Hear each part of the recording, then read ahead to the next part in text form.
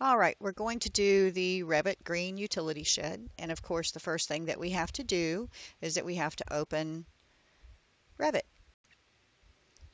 So we're going to go to all programs. We're going to go down to Autodesk. And we're going to go to Revit 2020 and we're going to wait a minute.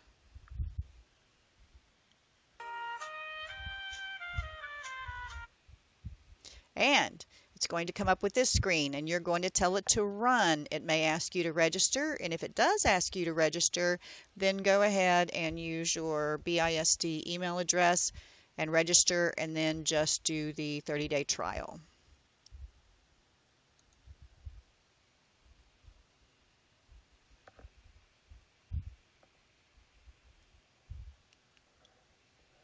And we're going to wait. And the Jeopardy music on my phone was a great idea, but it doesn't start up very well. So there we go. Now we want to do new. And we want to do an architectural template. It's going to be really important to pay attention to all of these teeny little steps because things just aren't going to work well for you if you don't. Now the first thing that it wants us to do is to click on here and right click and rename. So rename, and this is going to be the floor. And notice it's highlighted. I don't have to backspace or anything. Floor. Do we want to rename the corresponding level and views? So we have level 1, level 2 there, and we're going to say yes, always yes. And notice that it changed it to floor here. We want to right click, rename. When I double clicked, it actually opened the tab. Now I'm going to name roof. And enter. And yes, we want everything to change. So there's roof. We don't need to have roof right open, open right now, and it doesn't show it to you, so I'm going to go ahead and close it. So after we do that, it wants us to put in a wall. And let's be sure that we're on the floor and go to wall, and we're going to do architectural. And it wants to make sure that chain is deselected. That is selected, that is deselected. And by default, we have the straight line, and that's what we're going to do. So we're going to click once, double click, double click, because I'm, I'm ending and starting one. That's why I'm clicking twice. And then click once because I'm done. And hit escape. And that finished our floors, our walls. Yes, something. So at this point, it says that we have a couple of ways that we could select all the walls. We could select one wall. First of all, we have to go over here to modify and click on that, select one wall, and I can hold down the control key and select another wall. And it says um, hover over an adjacent wall and press the tab key. So I'm hovered over tab and it selected everything. Well, I thought it did. Tab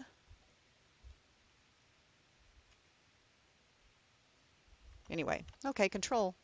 Control. We get the little plus up there. We've got them all selected. And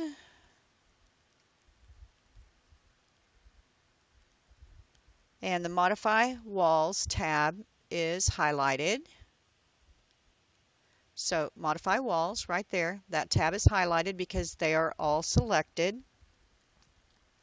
And we're going to delete all of them using the delete key because it wants you to learn a lot of different ways of actually doing this. So,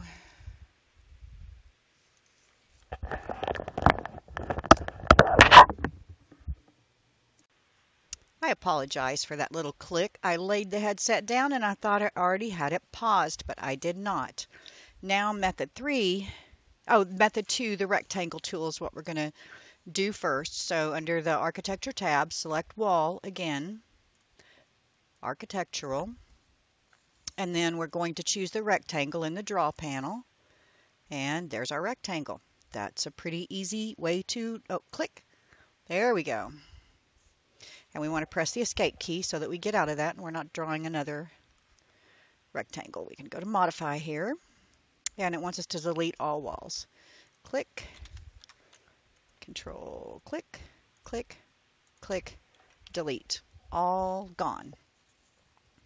Now, chaining walls. So we want to select the wall tool again. architectural, and this time we want chain on it. So we click once at the beginning of the wall and move the cursor to an endpoint and click again. Now we don't have to double click. So that is the beauty of chaining them, which I think I would, that would be my preferred method. Hit escape. Now, before proceeding, we're going to check the orientation of each wall to make sure that it faces the outside. I have to go up here to modify and make sure that those arrows are on the outside on each one of them. And they are. And if they weren't, all we have to do, if you click on the arrows, they go to the inside, but these are supposed to indicate the outside of the building. So if any of them were on the inside, you just click them and it would move them to the outside. Make sure that you define that because you're going to define a wall and part of it is going to be an exterior surface and part of it will be an interior surface. So now we want to change the dimensions on the tool, on the our boxes. Now, it wants us to right click in the context menu. Oh, we don't have to do that. We press the escape key so that we are now in modify. To enforce a dimension, we're going to select the end wall perpendicular to the dimension. So we have that there. And a blue temporary dimension will appear. And we can only edit temporary dimensions. So when we click in there, oh, first of all, it wanted us to make sure that the square grips are set on the outside. So I'm going to zoom in here and you'll notice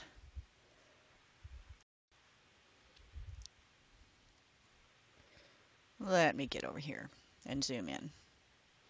And you can see that if I click here, it's got the dot there in the middle. Now it's on the inside and we want it on the outside. So we need to make sure that both of these are dimensioned from the outside because we are putting in exterior dimensions and this one is on the outside as well. And you just click them to go through. So we could do an on center dimension, an inside dimension, or an outside dimension. Now we'll zoom out. I always want to hold down control to zoom. That's not the way we zoom. We just zoom with the wheel. So We've come out here and this is supposed to be 12 by 16. So this would be one of our 12 foot walls. So if I click here, I can change this to 12 and I don't have to put feet. It's going to automatically assume it's feet and it's going to change it and it changed the um, wall opposite it as well. So we're adding permanent dimensions in both directions. And so when I click here, Again, though, we have to make sure that these are on the outside and not in the middle or on the inside. There we go. Now I want this one to be 12 feet. No, I wanted it to be 16 feet, didn't I? Yes, I did. I click it again, and it's 16 feet. Now it wants us to make these permanent dimensions, and I have this little icon right there. And when I click it, it turns into a permanent dimension. So I'm going to click here so we get the other one. Click that, and now those dimensions are permanent and they are going to continue to show. Now, under elevations in the project browser, click on any one of the elevations, north, south, east, or west. We'll just click east, it's the first one. And there's our little house.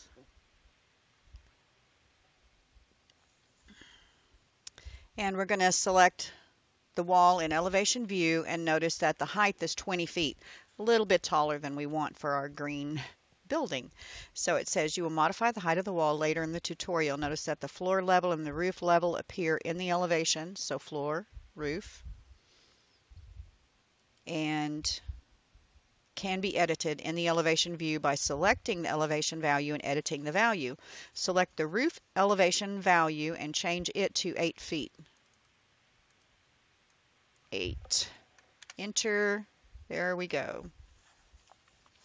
Now we want to view the cube and the steering wheel. So we're going to choose the View tab in the ribbon, View, and select 3D View from the Create panel create 3D view. And there we are. There's our cube. So you can also experiment with the view cube and the steering wheels. So we can move it around a lot like Inventor. You can click on right, spin it around, look at the top, go back. So experiment to get used to it. And there we go. We are just rocking and rolling through this tutorial. Now we want to change the wall height. So when creating walls in Revit, the wall height will automatically be the default of 20 feet. The wall height can be modified to the desired height using any one of several methods. Two methods follow. Method one is select a wall.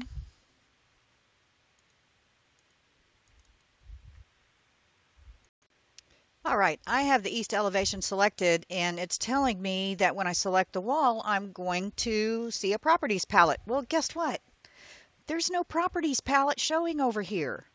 Okay, so we're going to go back over here to actually the View tab and the User Interface, and you'll notice that Properties is not selected here. And when I select that, then it'll show me some properties that I want to know about. So here we go. We got a base offset. We have got a top constraint, unconnected, 20 feet. We can change the unconnected feet from 20 to 8. So let's change that to 8. Enter.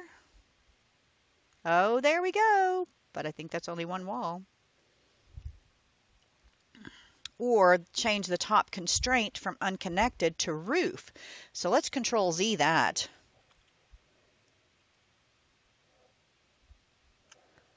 Let's see.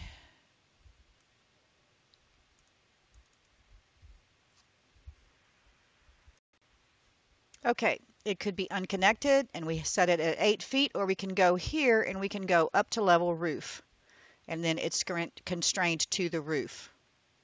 So we're going to open an elevation wall. Let's go to another one, north. There we go. Select a wall. And we can drag the blue arrowhead at the top down as well. And you either perform the same change for each wall independently or select all the walls together and change the properties simultaneously. So we want to change the remaining walls to 8 feet.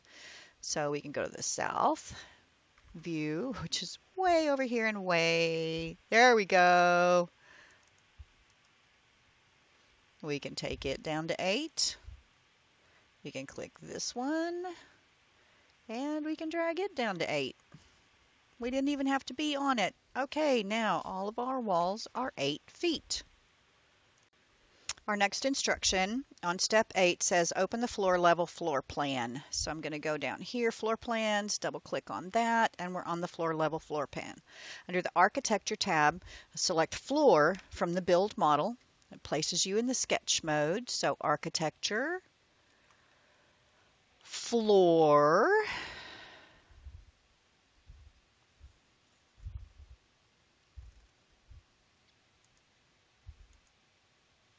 and it places us in sketch mode. So we can create a floor boundary by sketching the edges, but an easier method follows. We're going to create the floor boundary by selecting each wall of the building. Notice that when you select a wall, you can use the double blue arrows to toggle between interior and exterior face of the wall. In this case, the floor should extend to the exterior face on each wall. In the Properties palette, click the drop-down menu in the upper right-hand corner and select Wood Joist 10-foot Wood Finish.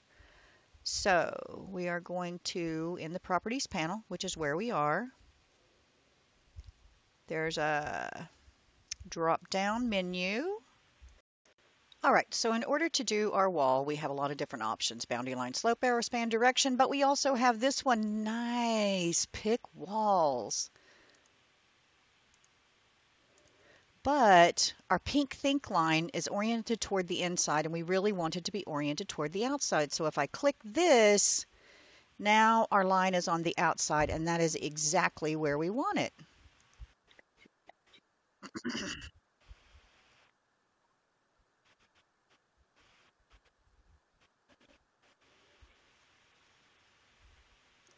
Okay, so now we have our floor and we're going to go over here to our drop down and we want to pick a wood joist 10 inch wood finish.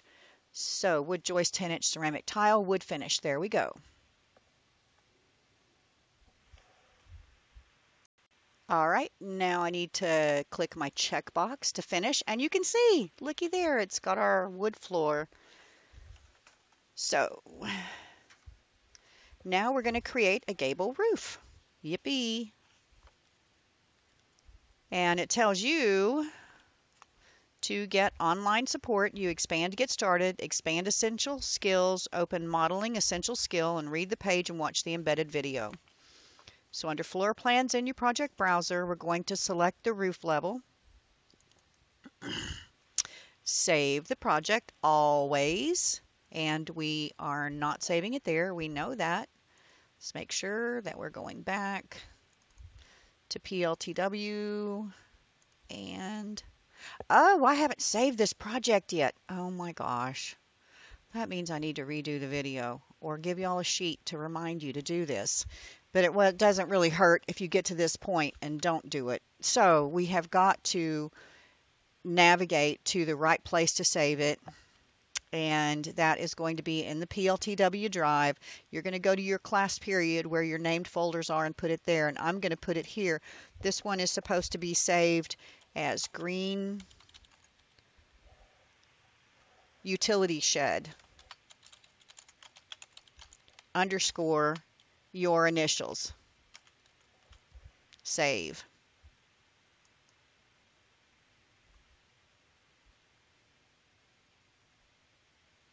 Alrighty. And now we are on roof, as you can see right here. and the floor and walls are visible, shown in halftone, and they are positioned below the roof level. And roof options appear in the options box. Okay, so now we go to the Architecture tab, the Build and Roof, and we have roof options here. And see roof edges identified when the defined slope I see, notice that the roof options appear in the options bar and defined slope text box is checked. So roof by defined slope right here, hangover.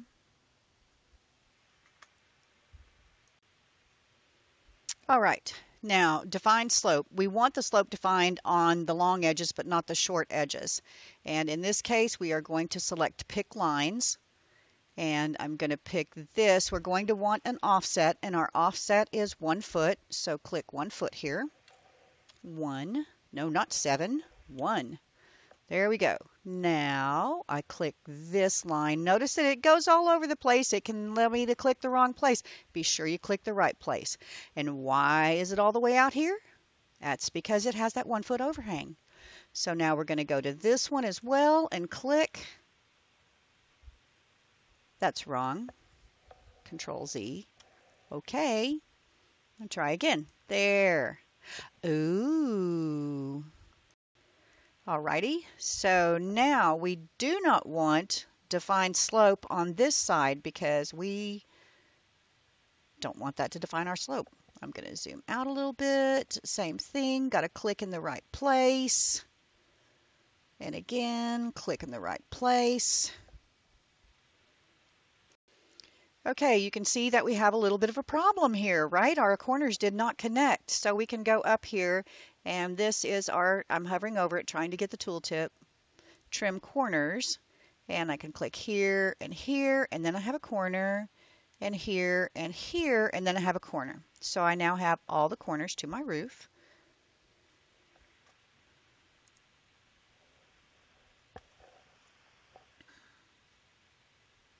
All right, now we have our basic roof here.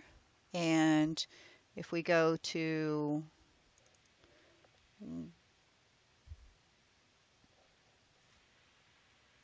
Okay, we were not quite ready because we haven't hit that check mark. First thing we want to do is we want to change this to wood rafter, 8 foot asphalt shingle insulated. And then click on the green check mark. Would you like to attach? Yes, we'd like to attach the highlighted walls to the roof. Yes, we would. Alrighty, there is our handy dandy little house with our little roof on it and it was only a little bit of a pain. Now we want to change the wall type. So we want to change one of the 12 foot long walls and so we can select this wall. So I'm going to go back to the floor plan and I'm going to select this wall. And I'm going to choose exterior brick on metal stud.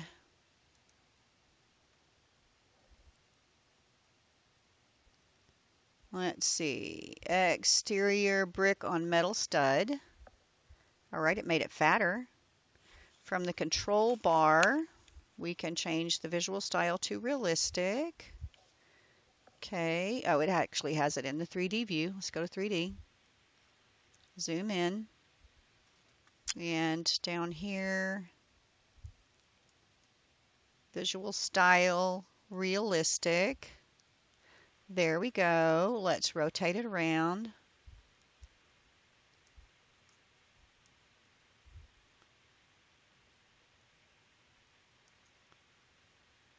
Yeah, I'm really good at this, aren't I? Oh, there's our brick wall. It's coming into view.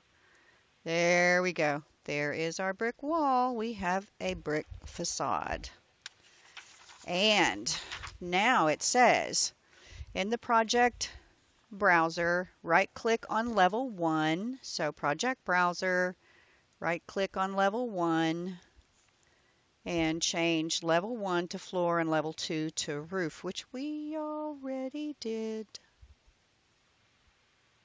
I am so sorry. I was rereading you the instructions on the first page of the paper. All right, I am pleased as punch to tell you that that concludes part one of our project. So, thanks.